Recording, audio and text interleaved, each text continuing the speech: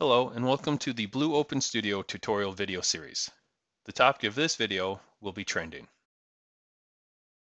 And in this video, we will be discussing how the trending feature works, properties of the trend worksheet, properties of the trend control object, and we will demonstrate creating a trend worksheet, configuring a trend control object, operating a trend control object, locating the history files in Windows Explorer, and viewing the history files outside of Blue Open Studio. The trending feature inside of Blue Open Studio is split up into two separate components. The trend worksheet, which is the sampling itself, and the trend control object, which is the trend graph. These two functions can be used independently from one another. And that is because at the core of this feature are the tags. And whenever a tag changes value, it will drive plotting the data on the screen in a graph or saving the data to a historical file via the worksheet. If just the trend control object or the graph itself is used without an historical file behind it, the data for those pens is stored into memory. So if you were to navigate away from the screen and return to it or stop and then start the runtime again, the data that was plotted on the graph is now lost. And then when you return to that screen, it will just begin plotting again without any data existing on the screen. In addition, the trend control object can be configured during runtime for different views and different pens. And those views can be saved so they can be loaded again at runtime. So for example, if say the operator on shift one has a certain way he likes to view the graph, but the operator for shift two likes a completely different way to see it, they can have their own views and just simply save them. And then when their shift comes up, select to load them in. The trending feature inside of Blue Open Studio is by far the most complex to configure. That is because of the numerous settings that are available for not only the trend worksheet, but also the trend control object. So this video will be laid out a little differently. We will first go through setting up a basic trend control object to display time-based data from a few tags. And then there will be an addendum to this video that will cover all of the additional settings for the trend control object. So the first thing we'll need to do is create a trend worksheet. So inside of the Blue Open Studio development, we go to the Tasks tab in the Project Explorer. And the second item down is Trend. If we right click and select Insert, we get the Trend worksheet. And we have a header at the top, and below that is the body. On the header, we have a description field, which we will enter in training trend. And this is just a descriptor for this specific worksheet. And then below that, we have a drop-down list for the history format. And you have two options available. You either have proprietary, which stores the data in a binary file with the extension .hst, or database, which allows you to configure a connection to an external database, for example, SQL or Oracle, and save the data to a table in that database. So if we were to drop this down and select database, we now see that we have the database configuration button available to us to the right of the dropdown. And in the body, we get an additional column called field. This field column corresponds to the field or column names in the table where this trending data will be stored. Uh, for us though, we're gonna leave it at proprietary. And then under the advanced button, this gives us options for configuring batch information, which we will cover in the addendum with all of the other additional features. For us, we're going to leave everything blank. And then below that, we have our options for the saving frequency. By default, the box for save on trigger is checked. And in the trigger field, we have the tag second entered in. And this is the default setting. So what this does is whenever the tag in this field changes value or toggles, it will save the values for any tags listed in the worksheet body. And we can change this from a second to something else. There are two system tags that run faster than that. There is a blink slow, which toggles every 600 milliseconds, and then there is a blink fast, which toggles every 200 milliseconds. For us though, to, to start, we'll leave it on the second tag. And then to the right of that is a box for save on tag change. With this box checked, it will save the values of the tags listed in the worksheet body whenever they change values. So you can use both together or you can use one or the other independently. And what this will do is this will give you some comprehensive coverage for any values that may change. So say you want to record information for the majority of your tags on a specific frequency, let's say once a second. But let's say you have two or three tags that run much faster than that that you want to get additional samples from. Well, you can simply click on Save on Tag Change, and then it will pull once a second to get all of the data from the tags. But then if any of those tags change values before that cycle, it will also record them as well. For us though, we're going to leave save on tag change unchecked. Then in the worksheet body, we are going to add in our four tags that we are going to trend. And in the tag name field, we can either type them in. So for example, the first one will be temperature. Or we can right click and select insert tag. And in this case, I'm going to go to my integers. And I'm going to find SEC counter 1. Then I'm going to copy that and paste it twice, and then change the second one to SEC counter 2, and the last one to SEC counter 3. And the second column in the main body is the deadband column. And this works similar to the deadband that we saw for the deviation alarms in a previous video. And it only comes into effect when the save on tag change box is checked. So for example, if we put a value of 5 in here for our temperature, whenever the tag temperature changes value, if it is within a plus or minus range of 5, that change will be ignored. If it is outside of that, then it recognizes that as a valid change, and then it records it into the appropriate destination, be it the proprietary file or a database.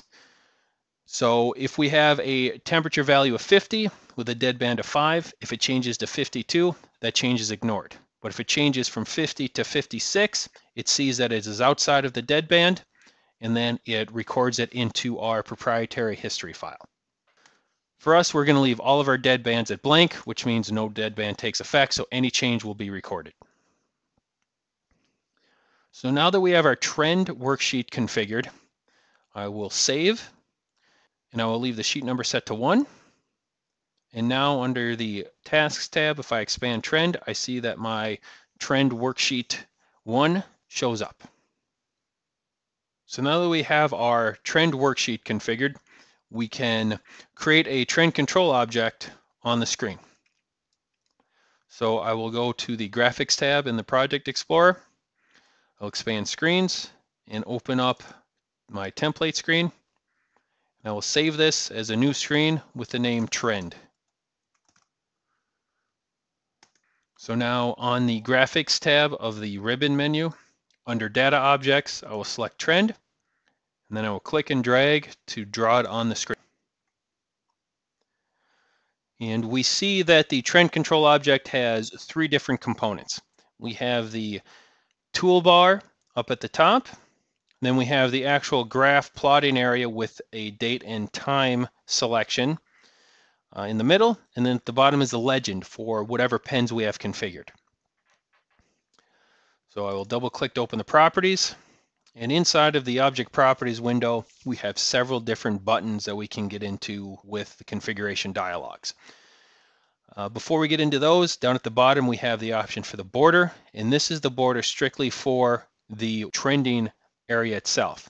So I can change the border from sunken to solid and change the color if I want to say a green and you see that it shows up there.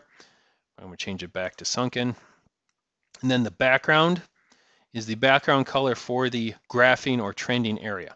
By default, it's set to white. We could have it be transparent or no fill, or we can change it to a different color, for example, black. I am going to change it back to white though. And now up above, we have six configuration dialog options. There's points, which configures the pens that will be displayed on the trend control. Data sources, which allows you to configure a data source for X, Y, or scatter graphs. So if you want to display data that is not time-based, you would come in and configure a data source to pull the information in from a destination, be it a database or an external file like a text or CSV file. Then we have the option for the axes, that's the X and Y axes for the actual graph itself. Then the legend, which is the information down here at the bottom, we can configure what's displayed there by default and what's available at runtime. The toolbar at the top, once again, what options are available and any shortcuts that we may want to use. And then the advanced, which is any additional functionality for the trend control. So in the initial part of this video, we will simply go through creating our points or our pens and configuring a refresh rate under advanced. So we will first go into points and we see that we have in this dialog, it looks like a grid layout. So we have several columns. We have the point number, we have a label, color, data source, tag field, the min and max scale, your style, options, SPC, and hide. So for our first one, we are going to configure this one as our temperature. So for a label, I'm just simply going to put in temperature. And for the color, I will change this to red. And the data source, because we have our axis set as time-based, we only have one data source, and that is tag. Because it's time-based, we cannot pull in from a external source. Now, this does not mean that we can't pull in historical data from either a database or a HST file. That is determined on if a tag that is being plotted on a graph also exists in a worksheet. It makes that link in the background through the software. So it sees that my temperature tag is being plotted on this trend control and it goes to see if it's also included in any of our trend worksheets. If it is, it can then go into that file and pull out the historical data to plot it back. Even though it's not linked through the control object, it is linked in the background of the software during runtime. And then I enter in my tag or field name. In this case, I can either type it in or I can right click and select insert tag. And in this case, in selection, I'm going to start typing in temp and select temperature. And then our min and our max scale. This is the individual upper and lower limits that we want to use for this specific pen. Uh, I'm going to set this min scale to zero and the max to 100. And then our style. This allows us to configure the line settings for the specific pen. Uh, you have options for state, be it normal or out of limits, which means if it is outside of our maximum range. And this is not an either or. You are configuring the normal and then the out of limits. And you see that there's a checkbox here that says use normal settings. So if I uncheck this, I can select a different color and a different pattern and line type if it's outside of the normal limits. So if I come in and I leave everything the same, but I change color to yellow and I click OK, you see that that changes as well. That's because this is a shortcut for the color style. So they give you the basic settings if you want to quickly get a trend graph configured. So I will change this back to red. And then we have our options. Inside of our options are several different fields where we can enter in tags to store this information. Over the one I should mention here is the break interval. And this has to do with the distance or amount of time between points or re between recordings. So let's say we're reading in data from a PLC and all of a sudden communication is lost to the PLC. The break interval by default is set to 7200 and that is in seconds. So that equates out to two hours. So if we're reading data in from a PLC and all of a sudden communication stops, we're no longer plotting on the screen. The trend graph continues to scroll along because time is still incrementing. If we say go an hour and 50 minutes later and we reestablish communication and a new point comes in, when that new point comes in, the graph will draw a line between those two points to connect them because it is within the break interval of 7200 seconds.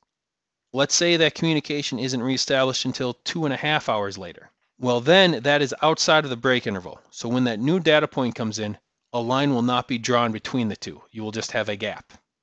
That is what the break interval is for. It isn't necessarily important for most, but if you're dealing with historical data that goes back a long way and you're dealing with consistency of, of information or data coming in, it may come into play depending on what you want to do. So we're going to leave everything set to default here. Then SPC stands for Statistical Process Control. This is essentially metrics information on the data being plotted for that pen. We have the options for average, min, max values, the standard deviation, and the count, meaning the number of points for that pen. And we would put tags in here to retain that information to display it on a screen or use it in a script or wherever the case may be. Then we have the option for hide. With a tag configured in the hide column, if the value is true, the data point is hidden from the trend display. It's not removed, it is just hidden so it will not be displayed on the graph. And we can do this for individual pens. So now I will add in my additional fields. The second one will be counter number one. And I will just add the labels in for all three right now. Third will be counter number two, and the last will be counter number three. The colors, I'll just pick a couple of contrasting ones. So sky blue, green, and then orange. Data source for all those, I'll leave a tag. And for the tag field, the first one will be SEC counter one. Second is SEC counter two. And the last is SEC counter three. For the min and max scale, I'll set all of these to 0 to 100. And a simple way to do this, I can copy individual cells and I can paste them in. And then I will leave everything else set to default. I'll even come in here and I'll make sure that these match. Now we have the basic settings configured for the points for a trend control object. I'll click OK to get back to the object properties. And as you can see, my control object in the background has updated with my new setting. And now the only other thing we need to configure is the refresh rate or frequency for the graph itself. As I mentioned earlier, the trend control object and the trending worksheet can work independently from one another. We saw how the frequency for writing or saving the data through the worksheet is configured. The trend control object has its own refresh cycle. And to find that, we go under the advanced dialog, and it is the update trigger. And by default, it's set to second, meaning once a second, it will refresh the graph and plot new data points and then connect them with old data points. So we will leave that set to second. And now we have our trend control configured for a basic display of data. In a previous video, we configured the three SEC counters to increment automatically using the scheduler. However, for the temperature, we need to manually modify that. So I will first resize my trend control object to give me a little space off on the left hand side. I will open up my alarm screen and I will copy off my temperature slider and paste it here. And now I can expand this out a little bit more just to give us some more room. Now we have our screen configured the way that we want it. However, I need to go back into navigation and create a new button to navigate to the screen from the startup. So I'll copy off the alarms button, change the open function to open the trend screen, and then change the caption to read trend. And now I will save and I will close all of my screens and my worksheet. And then I will start the runtime. And now with the runtime started, I will go to my trend screen. And we see that we already have data plotting. And we see down below in the legend, we have our four tags and we see what the current values are and what the cursor values are. We see though that the temperature tag has a flat value of zero because we haven't changed it. So if I increment this up to say 78, we now see that change reflected. And as you can see, we have data scrolling along just fine. And by default, the trend control object can segment or separate each pen into its own area or section. Uh, up in the toolbar, there is an option for multiple sections. By default, that's enabled. If we disable that, then it looks like a standard trend graph where all four points are trending along in the same range. We still have our min and max ranges for each pen over here, but they're all plotted in the same area. Additionally, there is another button called auto scale. And what this does is this automatically adjusts the min and max range for each pen to just fit the minimum and maximum plotted value on the trend control. So when I click on it, you see that they all adjust. So the counter number two has a min value of 43 and a max of 72. And the temperature has a min of 28 and a max of 128. And the other two remained at 0 to 100. If I click it again, you see that those values change because it is a dynamic range that is setting whenever you click that button. When you start up, the cursor will be on the far left and it'll be this blue line sitting here. We can move it along on the trend graph and we will see what the value is whenever the pen intersects the cursor. And the cursor will remain stationary as the data moves along. So we can see this value increment for the cursor, and that's independent than, from the current value that we see. And then down at the bottom, because we are using historical data or time-based, we have the option for selecting a specific date or specific time or what the duration is. And the duration is how much time do we show on the graph. By default, it's set to one minute. We could say set this to 10 minutes. And now you see that it expands it out even though this hasn't been running for 10 minutes, it is showing as much as it can. We can also go back and see values from a previous day and expand this out to the current day. So we could go all the way back, let's say to December 1st, and we only want to show from the 1st to the 3rd, we could. And then we could expand this out to our current date on both as well. And then I will set this back to one minute. In some additional information about the layout of the trend control object during runtime, up at the top in the toolbar we have these run and stop or pause buttons. So right now I can pause it and I can view information here without it scrolling along. As soon as I click run again, it will jump to the current time and draw all of that data that has been queued since I paused the graph. Then we have the option for selecting a period, which means we can also type in a duration or we can select a type. And we'll go over these types when we go over the additional settings for the trend control in the video addendum. Then we have an option for zooming. If we want to do a horizontal or a vertical zoom, we want to zoom in or zoom out, and then we can cancel our zoom and reset it to default. And then the legend properties. So down here we can select what options we have. Once again, we'll go over these in the video addendum. So we have all of these available, and these are the current ones that are visible. And then we have the option for changing the pen style for whichever pen we have selected. So right now I have pen 1 selected, I can either set it up here or down in the legend I can do it as well. Then we have the options for adding a pen. I can't because all four that are configured are being displayed or removing a pen. And I can do this either up here. If I had a pen, I can also do it down here as well. We already discussed the multiple sections and then we can turn the cursor on and off the auto scale. If we wanted to print out to a external file or to a printer, we could do that. And then the SPC. And I will add in one more just so we can get a better look.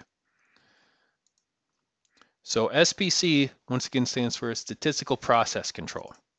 With this, we can select what statistics to show.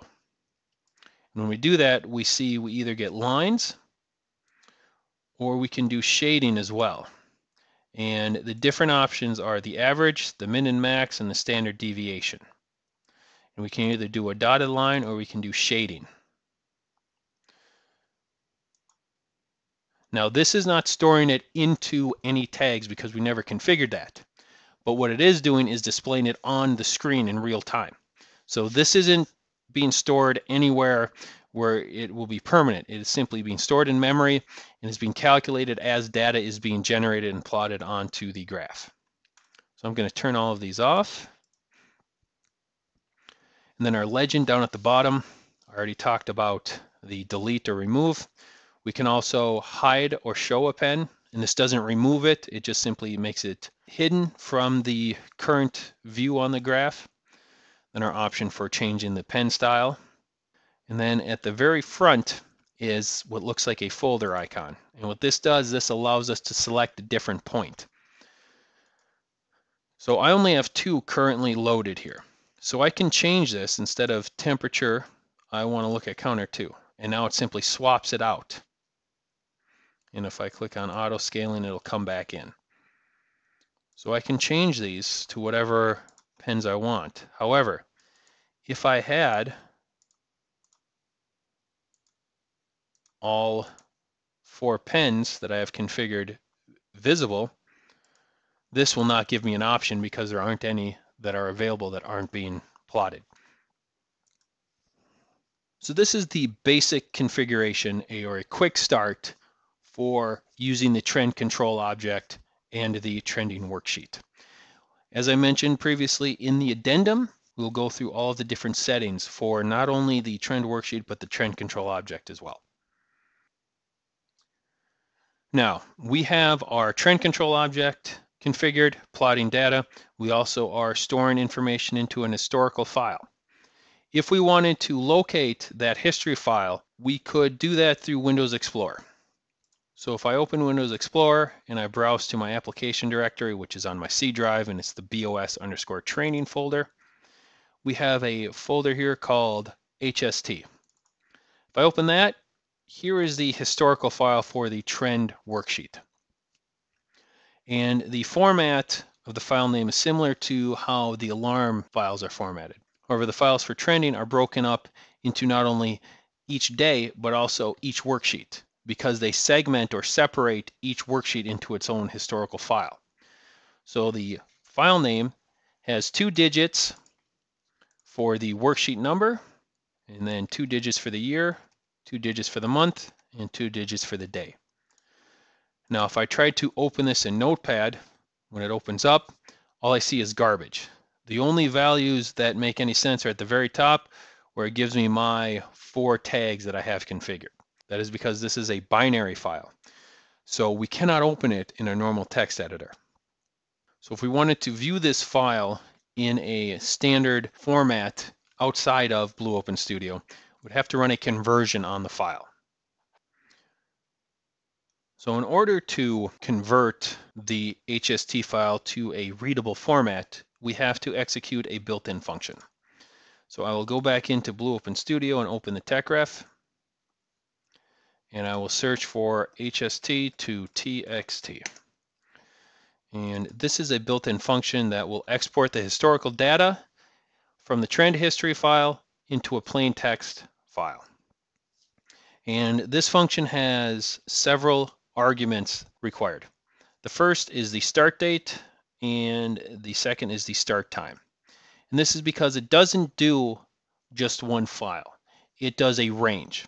So you give it a start date and time, and then you give it a duration, which is the third argument. And that is the duration in hours for the data to be exported. And it starts from the specified date and time. And for example, if you want to do less than an hour, you would put a decimal in. So if I want to do half an hour, I would put in 0.5. Then you have the group number that you want to give it, and this corresponds to the worksheet number.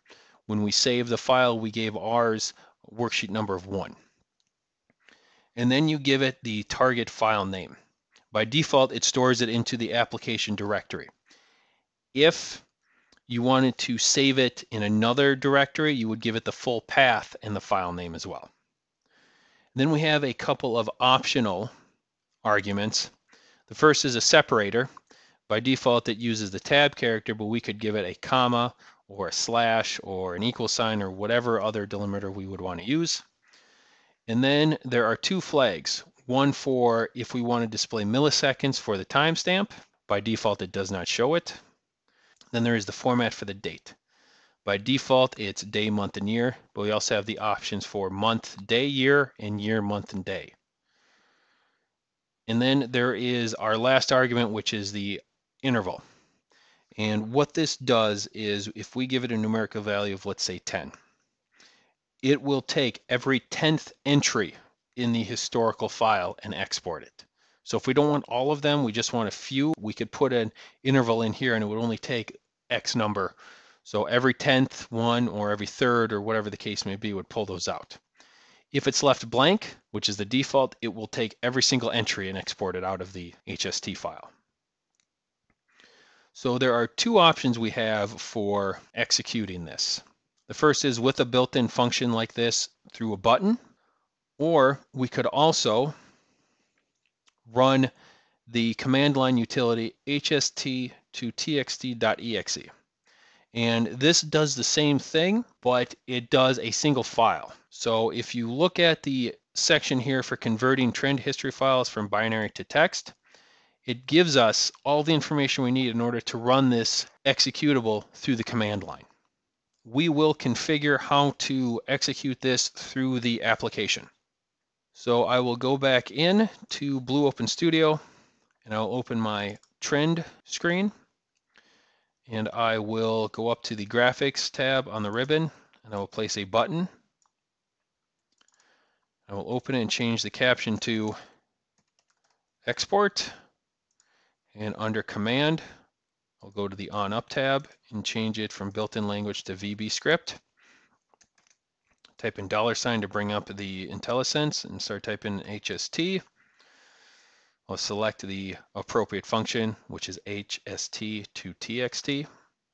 And then with a open parenthesis, I see a tooltip come up and it gives me all of the arguments that are required or available for the function. And the one in bold is the current one that I'm on. So I'll start with today's date and that will be in quotes. And then a time. And this is in 24 hour format. So for example, right now, I would have to put in 20 in order to get 8 p.m. and then the duration. And this is in hours. So I want to do the last 10 minutes which is 1 sixth.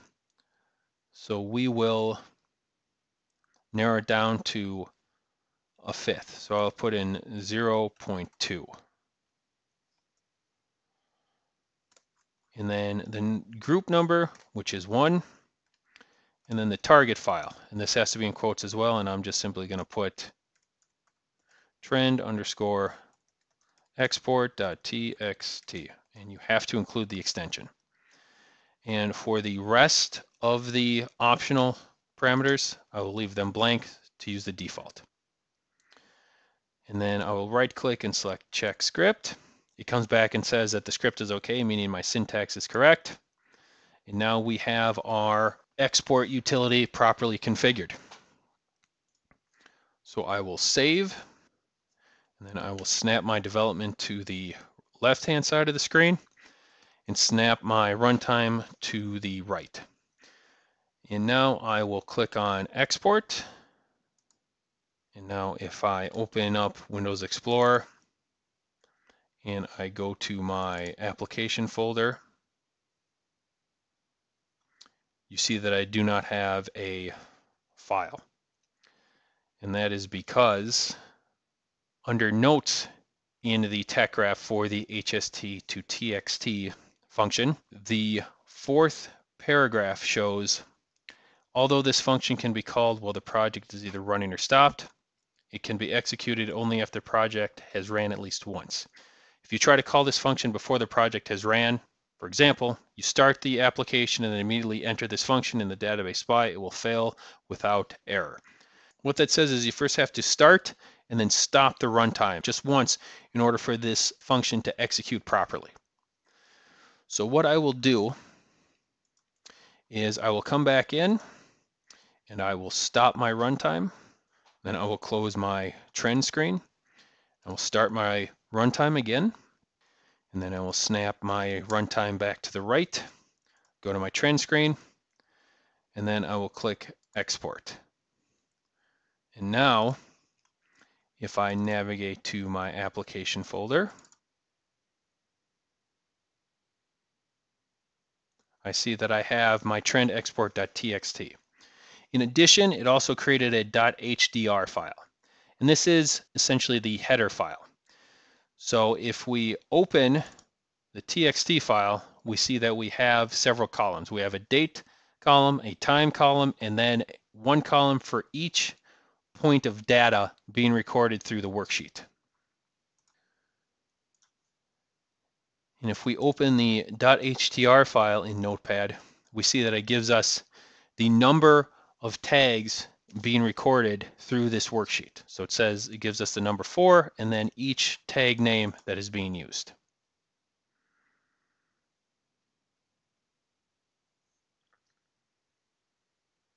So we've now seen how to properly configure a trend worksheet and a trend control object. We've seen how to locate the historical files through Windows Explorer and how to view them outside of Blue Open Studio. However, there is one more caveat to the trend feature, and that is if you wanted to add tags to an existing worksheet. So if I go back into development, and I'll maximize this to view it better, I'll go to tasks and I'll bring up my training trend worksheet. If I want to add a new tag here, so I'm going to add the existing tag flow rate. So now, with flow rate put in there, if I go to save the worksheet, I get a message and it says, warning, tag changes in any trend group will only take place in the next day history file. What this means is that the software will be unable to go in and either add this new tag to an existing or any previous historical data files, or if we removed a tag, remove that tag's value from any existing or previous historical data files. So this change will only take effect the next time a historical file is generated. So if we click OK, we now have a new tag configured. However, it will not take effect until the next day. There is one way to go around that, and that would be to come in to your HST folder and delete the current day's history file. If you do that, the application will generate a brand new one and it will be able to include that existing tag. The only downside is any data from that historical file will be deleted when the file is deleted. Thanks for watching. If you have any questions, please feel free to contact ProFace America Technical Support by phone at 1-800-289-9266, option 2, or by email, support at profaceamerica.com. You can also visit our website, profaceamerica.com, for manuals, drivers, product FAQs, and other product and software information. Thanks again, and have a great day.